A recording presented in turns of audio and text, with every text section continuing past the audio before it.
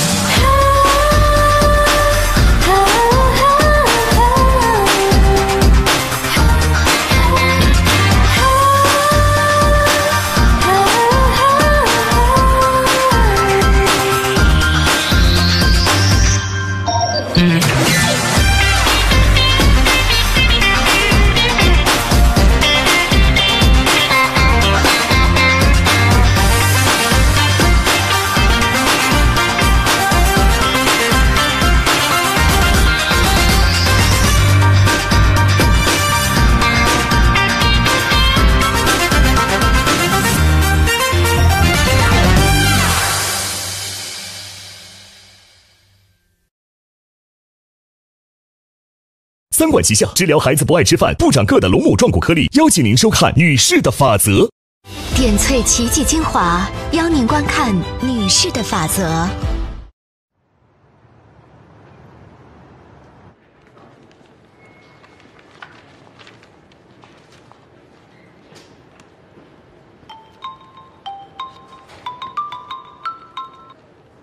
哎，小慧啊，你们公司是在章鱼街吗？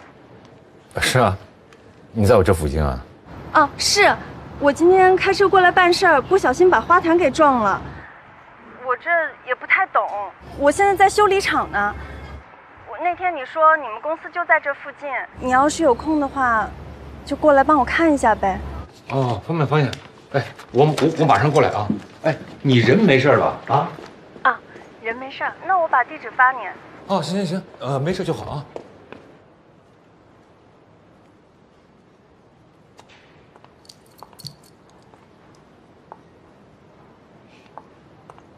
我以为唐主任给我们多了不起的案子，就这，这么鸡毛蒜皮点事儿。不过你刚才是真厉害，竟然管人家要百分之三十的律师费。还有啊，刚才谢谢你，特别爽。这个案子是唐主任安排下来的，不好推。嗯。但既然我们决定接了的话，那我们就必须。来，你再帮我想想，怎么证明这个包是假包？假包证明，这上哪儿找啊？是啊，国内第三方鉴定机构的鉴定书法律是不会认的，原厂的国内代理又会拒绝做鉴定，这个我就最不理解了。哎，你说有假货，不是损害他们自己的品牌利益吗？那为什么拒绝鉴定呀？因为原厂的国内代理是不会承认市场上有如此等级的仿真品。嗯，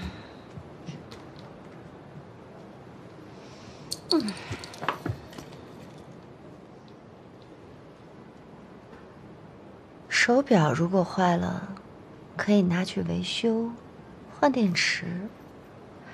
奢侈品的话，我知道了，送修。送修，把包送去修，可以啊！啊，刘芳，现在 这个案子要不要一起来？我手里还有很多其他资料没完成，我现在呢就做好你们的金牌辅助，我帮你找一下其他的律师啊。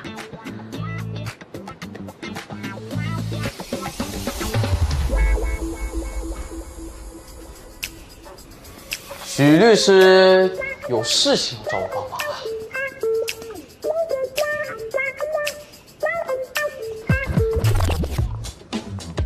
给你泡的咖啡。哎，客气了，说说吧。不知道宋律师最近忙不忙啊？忙倒是有点忙，但是许律师有什么事可以直说，介不介意帮个忙？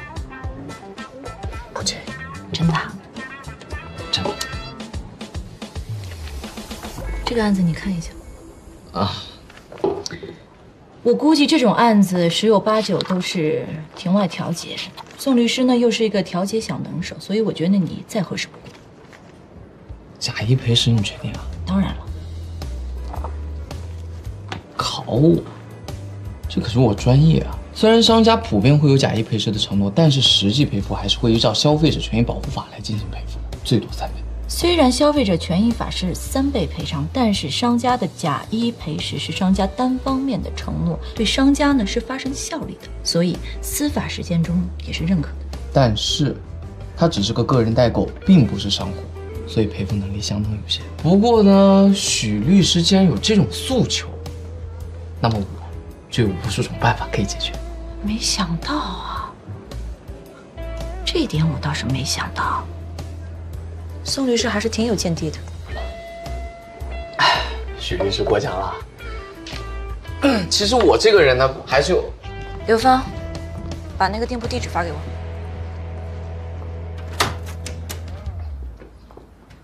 慢一点，慢一点。哎呀，这孩子回家那天就。上厕所。走走走，这边。慢点，慢点，知道点。好了，好了，哎，给我。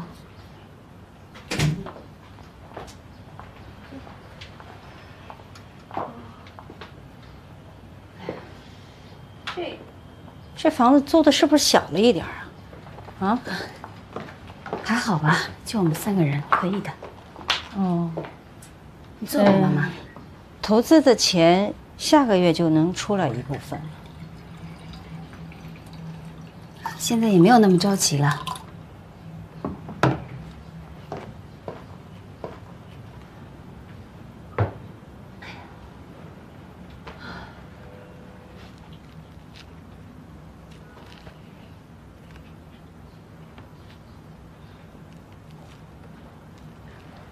妈，嗯，有个问题我一直想问你。嗯说吧。你是什么时候知道的？什么什么时候知道？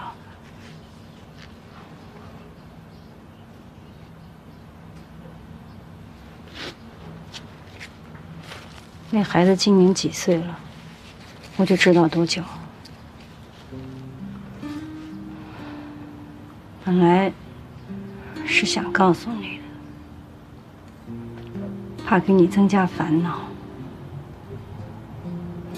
没有必要因为这件事让大家面子上都过不去。不管怎么样，这件事在静海让人知道了，还是影响很不好的。你们的面子就那么重要？你的不也一样吗？就像洋洋说的，碍于面子，很多事情你不是也没跟我说吗？其实这件事儿，真正受伤的人是我。可就因为陈文光出事了，所有人都打电话问我，说我为什么不尽妻子的义务？可是她什么时候尽过丈夫的责任了？我为什么要为她分担这些呢？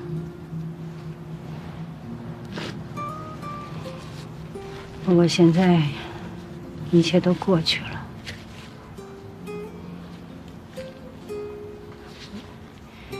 我也挺好的，你也一样，把自己照顾好，啊。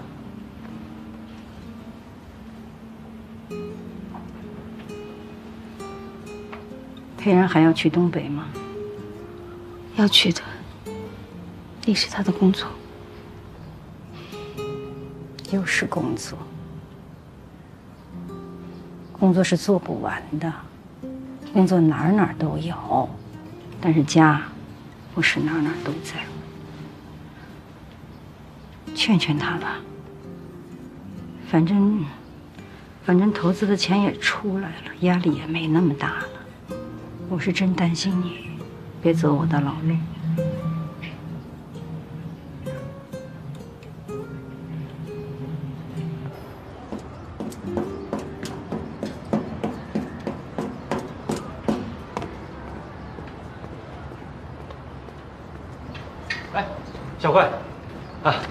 手续都办完了，明天啊拿着这个单子直接过来提车就行了啊。哎，谢谢你啊，师哥，我对这方面一窍不通的，耽误你时间了吧？哎呀，咱们什么关系，还这么客气？那我请你吃饭吧，以示感谢。哎呀吃饭就总是要吃饭的呀，走吧。哎呀，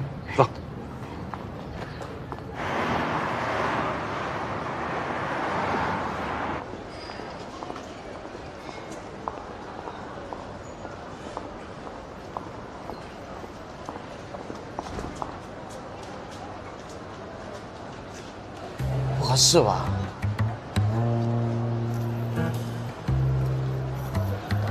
哎，哎，你这算是破坏证据吧？大不了赔他们一个。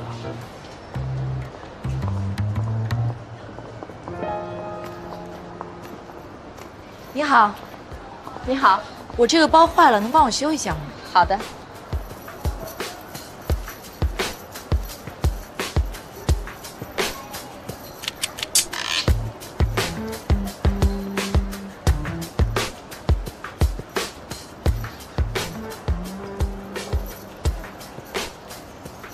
好意思啊，这包我们修不了，为什么呀？这包不保真。谢谢。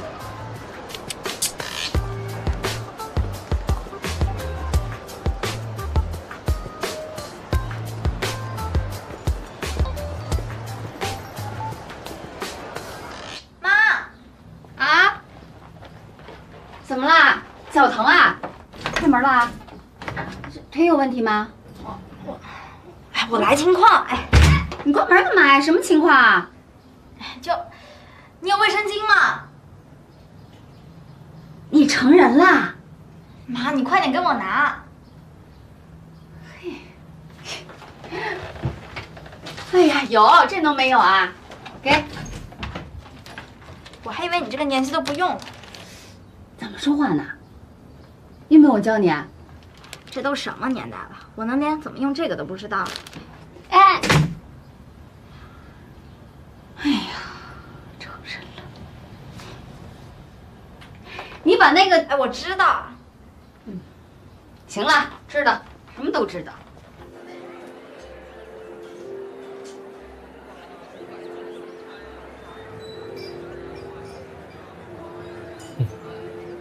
好久没来这儿，真没想到啊，这家餐厅竟然还开着。现在都干成连锁了，北城、东城都有。师哥，哎，你记不记得那会儿，咱们要想吃上这一口，那都得集资呢。哎呀，谁叫那时候穷啊啊！哎，这还是原来的老板吗？老板都多大岁数了？上次来的时候我问了，老板两年前去世了，现在是他三个闺女在经营。哎，你快尝尝，看看还是不是当年那个味儿。啊，尝尝。嗯，不错，真的有点回忆当年的感觉。上回你说你们公司承办一些展会什么的，是啊，就是帮一些公司做发布会、展览活动什么的，都是一些琐事。那房地产开盘的活动你们能接吗？接啊，前几天我们还做了一场呢。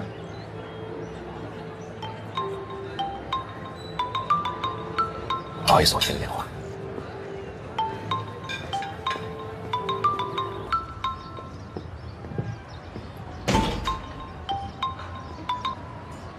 喂，喂，你在哪儿呢？什么时候能回来呀？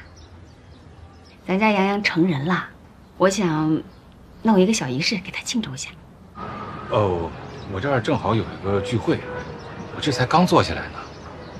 要不这样，你们先庆祝着，我争取早点回来，啊。啊，行吧，尽快啊。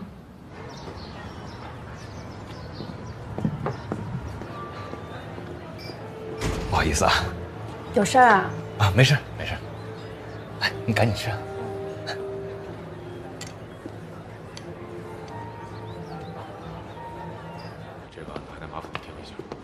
等开庭时间出来了，我会提前告诉你们。谢谢王律师，有什么事呢？我希望我们能够及时沟通。王律师，留步，谢谢。慢走。小张，小，谁看见小张了？啊，您有什么事儿跟我说就行。啊，来，陈哥，把这文件拿去扫描，留档给我。好嘞，黄主任。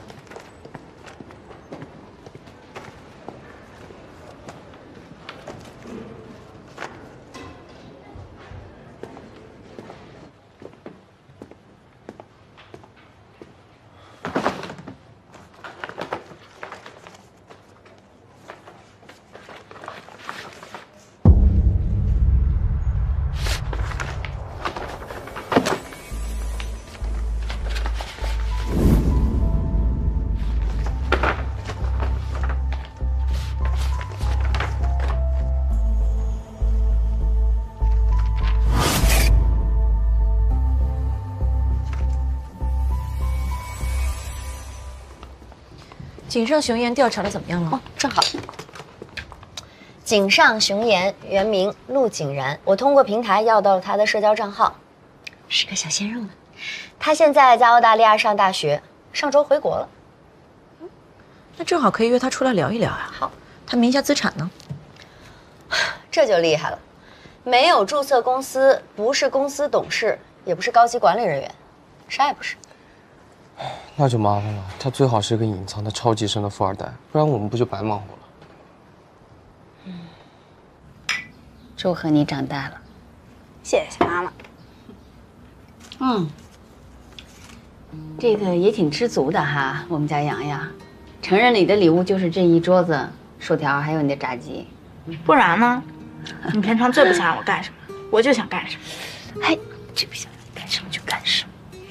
特权只限于今天，我也没奢望过天天。不过，等我十八岁以后，我想干什么就干什么，想吃什么就吃什么。来来来，最大的啊，吃什么就吃什么。到那个年龄，你没准就不想吃这些东西了。不可能。我爸呢？他怎么不回来？爸爸说要晚点回来，吃你的吧。妈，嗯，不是我说你，你就没点危机感？什么危机感？妈，你不觉得我爸依旧风华正茂吗？什么意思啊？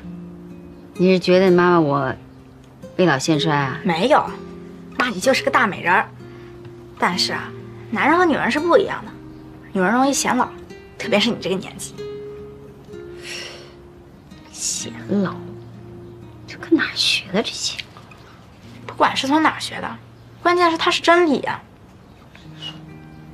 妈，我觉得你这一年老了不少，你应该学学外婆，好好保养一下。我们班王小妍他妈前几天来接她，我看她拉了一个大双眼皮。嗯，你呀，在学校里注意力都放在这些地方，不好好读书。我这不是为了你操心吗？你要是多注意一下，说不定我爸就不去东北了。你爸爸去东北那是他的职业规划。小心他爱上江山，不爱你这个美人。吃你的！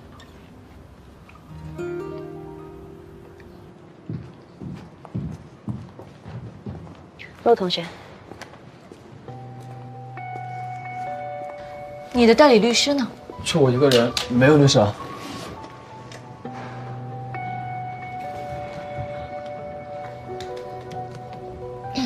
嗯，我的委托人赵森先生日前通过正品购委托了井上雄彦，也就是您本人，购买了一只芬尼尼的包。您收取了两万八千元的人民币，并将商品从澳洲邮寄给他，是这样吗？对，是这样的。赵先生的包因为一周之前轻微的损毁，拿到了正品店去维修，却遭到了拒绝。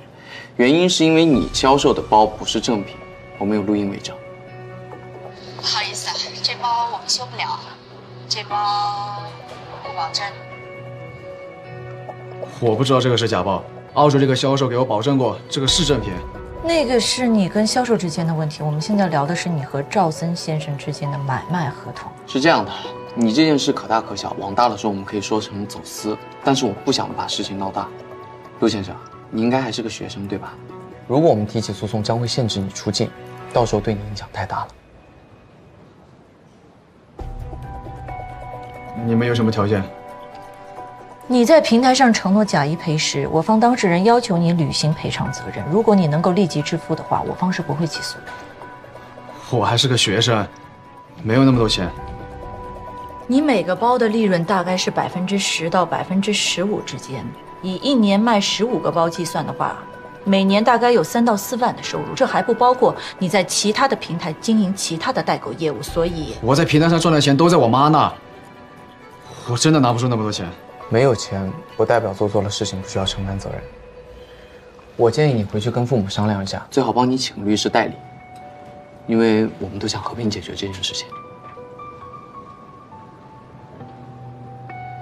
等我考虑一下，等我想好了再回复你们吧。好。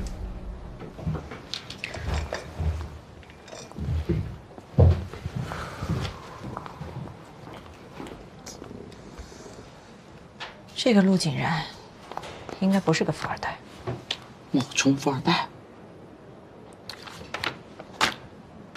你没看到这个地址啊？他应该是想让自己的包好卖一些，就给自己包装了一个富二代的人设。啊，果然，什么事情都逃不过许律师的法眼。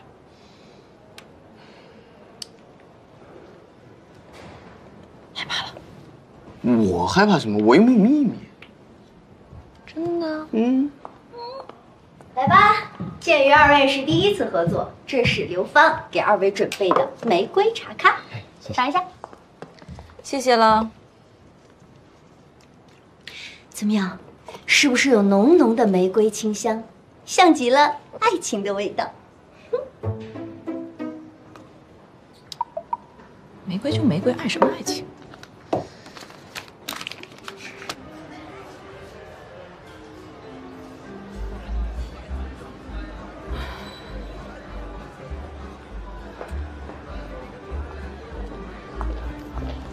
怎么了？今天又是哪个前男友结婚，值得你借酒消愁啊？我可不是你，我是感情动物。嗯，动物。一杯威士忌，谢谢。哎，我就找个理由跟你拒绝都不行啊！我就纳闷了，我的一个个前男友，怎么都要结婚了？太不爽了，太受伤，太失落了。那今天的失落值几杯啊，吴大小姐？你少废话了，喝就完了。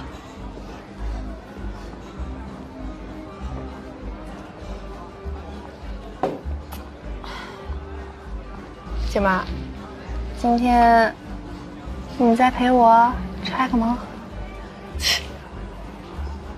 青蛇，毒舌。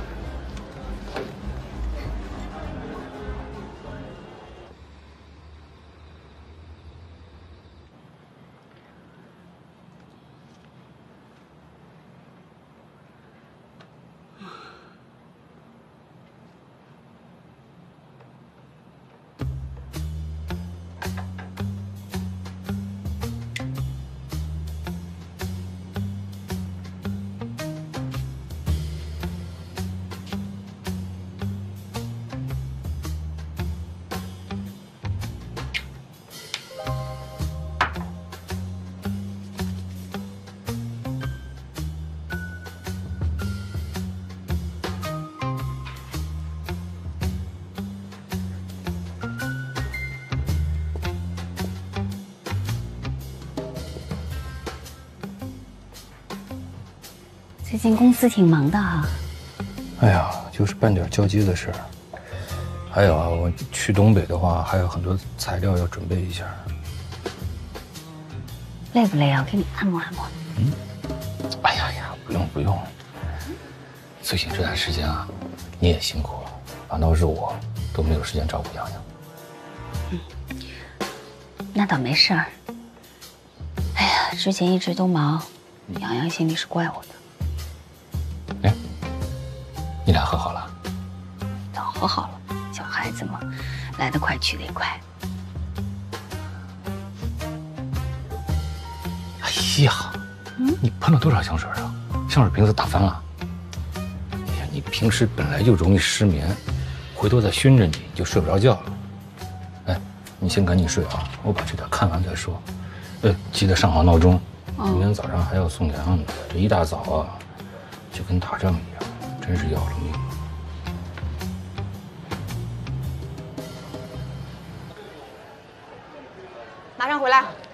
不能有酒。OK OK OK。姐们儿，这些人可都是我从通讯录五千人里精挑细选出来的，谁来谁转。走，跟我试试。既然你的这些盲盒们都来了，那我一会儿可就走了。别呀，你留下来陪陪我。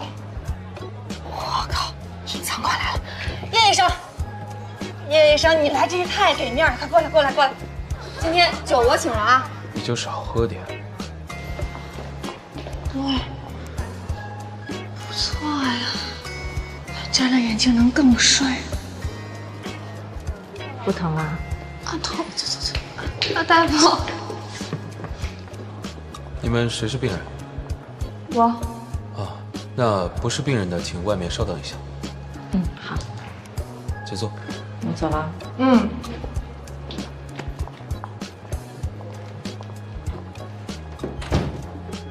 没问题，答应你。但是你得帮我个忙，这是我好姐妹许杰，她可是个大律师。今天你负责陪好她，怎么样？不许走啊！坐，不许走。走，我们去丢飞镖。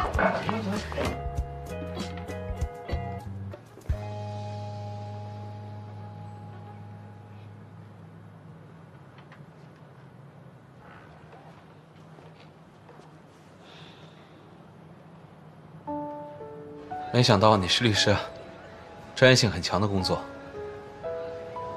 你们医生也很了不起啊，救死扶伤嘛。律师跟医生都一样，每天面对的都是大大小小的麻烦。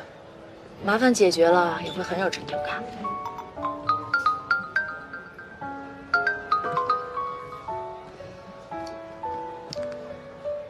睡了吗？显然没有。陈大律师又有业务要骚扰我啊？嗯，我就是想跟你说，那天你问我的问题，我说的是违心的话，我是做不到我自己说的，可以面对残忍的真相。这很正常啊，这就是人性啊，要不然怎么会有麻醉剂这种东西啊？你说的对，如果你来面对残忍的真相，你会选择逃避，还是接受？我会选择对我最有利的。好吧，好吧。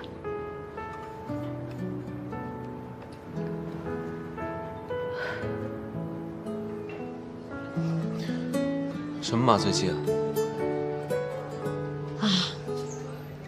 有一个朋友经历了一些不好的事情。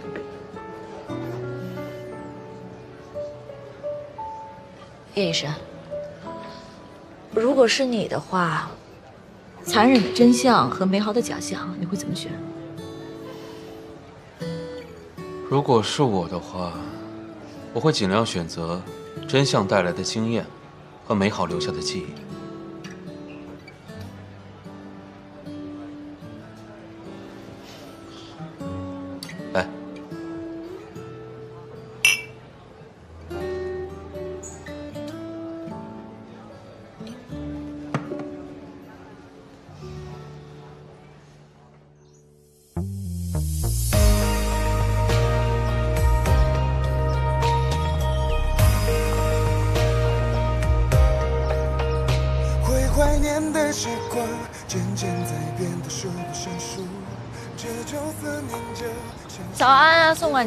早啊，许大律师。你亲我一下，我给你个惊喜。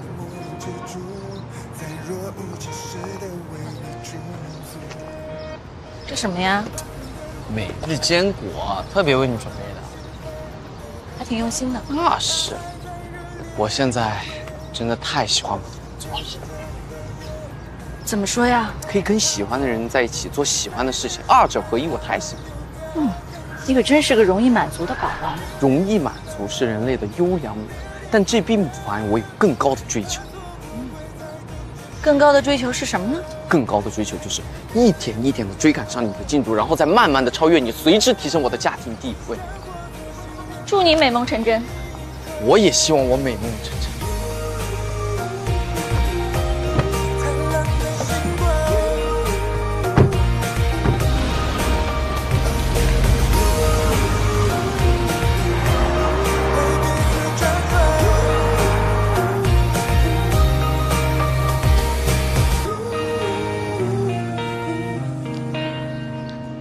这就陆景然家啊！嗯，地址显示的就是这里的。要他真是个富二代，也隐藏的太深了吧？先去看看吧。六十七，六十八。哎，呃，你好，我想问一下，这里是陆景然家吗？是啊，你们有什么事儿吗？哦，陆景然在家吗？我们有事找他。哦，然然不在家，你们是？啊，我们是律师。哎，呃，我们是澳大利亚大学校友会的，啊，呃，我们毕业很久了，但是会不定期的关照一下在校生，看看有没有需要我们帮忙的地方。哦，哎呦，那欢迎欢迎！哎，老大，快招呼客人。好，你们请，你们请，你们请啊！快请进，请进来。哎，谢谢。哎，我和你们讲啊，我孙子的学习啊，真的是很努力。哎，他从小学习就好，他还得过那个什么外国哦，外国大学的本科奖学金呢。然后他说，毕了业以后呢，他还想读研究生，然后研究生期间的学费呀、生活费呀，他都要自己去挣。我和他爷爷呢，倒是希望他好好学习，多读些书。但是，哎呀，我们就是担心他，就是担心他太辛苦了。将来他要是毕了业，能找份体面的工作就好了。这个你们二老放心，小陆的专业选的非常好，毕了业肯定能赚大钱，让你们二老享福。那就好，那就好。谢谢。现在这个情况，小陆应该是很难拿出这二十八万。我让刘芳明天联系一下赵森吧，我们换个和解方案。原本有风险的高额代理，现在要空欢喜一场哦。先回律所。哎，别别别，难得一起出来办案，这个时候不一起吃个饭，对不起老天给的机会。走，我请客。你去吧，我要回去工作了。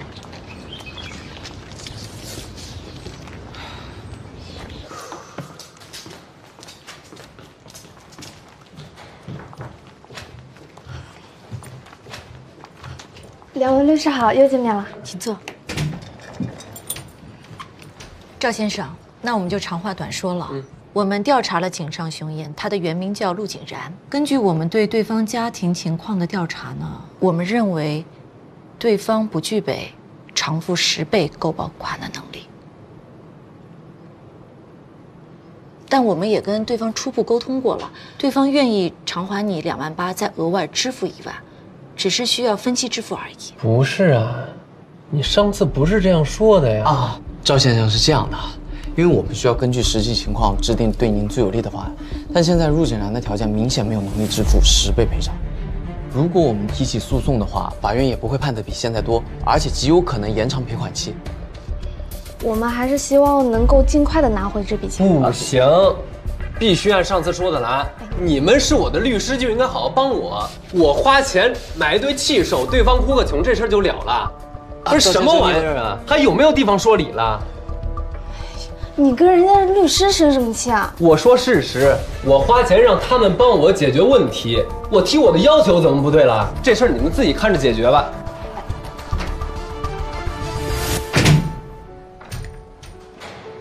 对不起啊，两位律师。啊，没事儿，其实也挺常见的。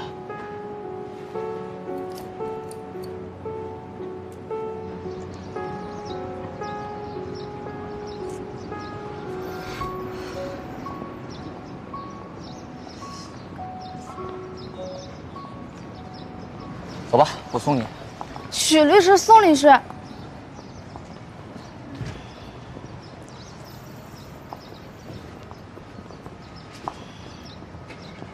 对不起啊，刚才在你们办公室实在是很失礼。没事儿，也挺常见的。赵森的钱真的拿回来吗？我们不能做绝对的承诺，但是可能性很大。那就好。赵森挣钱不容易，能追回他的损失就行。你们两个今天来之前是不是吵架了？嗯，我们最近因为这件事儿分歧比较多，他总觉得我在怪他。其实我也只是着急，怕他的钱拿不回来。我有好几个朋友以前都被代购骗过，对方一旦拉黑他们，这事就没有办法了，只能自认倒霉。以后碰上这种事啊，推荐他们找许律师。不过这次也是多亏了有你们，我们大学毕业不久，挣钱不容易，他还借了一些借贷平台的钱，才凑齐了这笔钱。我知道的时候都快被他气死了。这确实挺不理智的，但是我也能理解他想给你送礼物的心思，毕竟男生嘛，总是想把最好的给自己女朋友。可是我不需要啊，我从来都不喜欢奢侈品，而且就算我喜欢的话，我也可以自己买的。你之前是不是说过什么让他误解你的意思了呢？嗯，我是说起过几回，朋友收到礼物很开心，可是他们喜欢的东西又不是我喜欢的。我的重点是想让他对我的喜好上点心而已，而不是买包啊。有的时候啊，直接提出要求对我们男生来说可能会轻松很多。可是要来的和花心思准备的怎么能一样呢？两个人在一起，不能总等着另一方给出标准答案吧？看起来宋律师好像比琪琪更了解她的男朋友。你先别劝她了，不如让宋律师试试，可能你们同性之间更了解彼此的想法。那就多谢两位律师了，我先走了。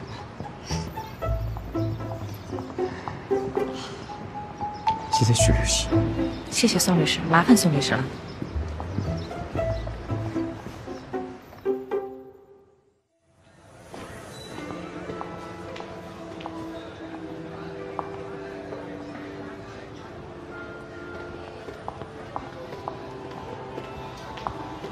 陈律师，嗯，来了。陈律师在酒吧也能入定啊？不好意思，刚才没听到。今天做心理医生，我可要正式收费了。嗯，说说吧。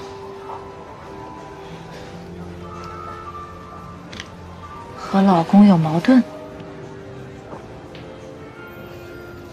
你好像在偷窥我的生活。我并没有兴趣偷窥你。哎呀，昨天。女儿问我，是不是绝经了？哎，我看起来有那么老吗？真的，他真的这么说啊？这个熊孩子啊，有我当年风范。能不能认真点？我是认真的，不过上天在造物的时候呢，并没有考虑过完美。自己的事情只有自己知道。对，现在多了一个，我知道了。还是那句话，轻松一点。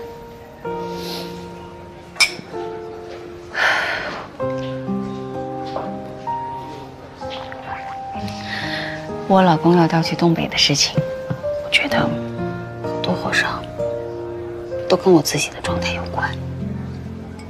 你发现什么了？都没有。去多久？一年，或者更久吧。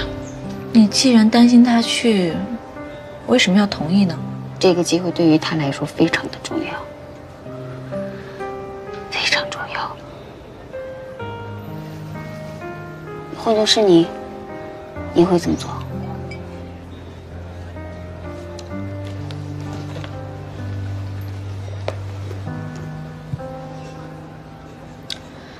正面同意，反面不同意。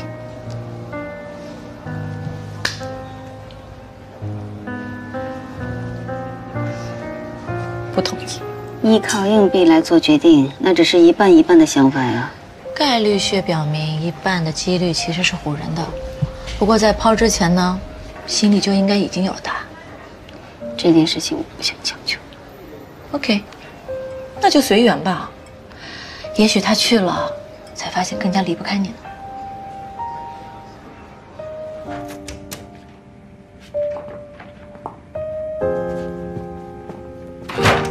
小冉，你回来了？怎么了？你喝酒了？哦，哎哎，来来，我来我来我来，我来来，慢点慢点啊！来，来那个酒。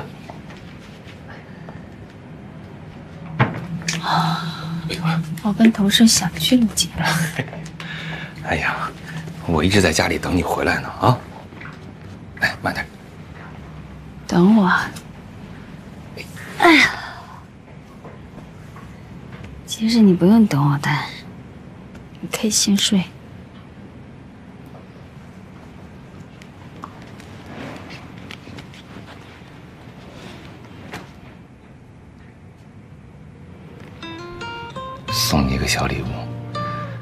今天路过正好看到了，我猜你一定会喜欢。我记得上回送你礼物，应该是很久以前的事了。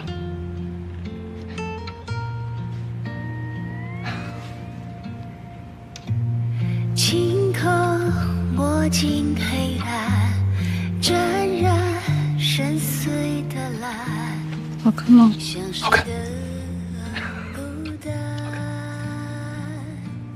是有很久了。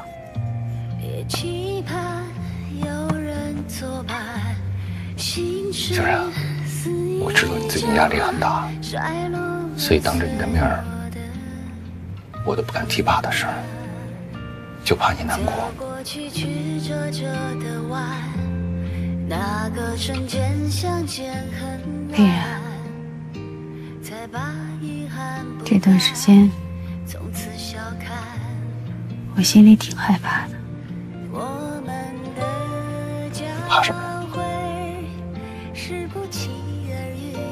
害怕你去东北是因为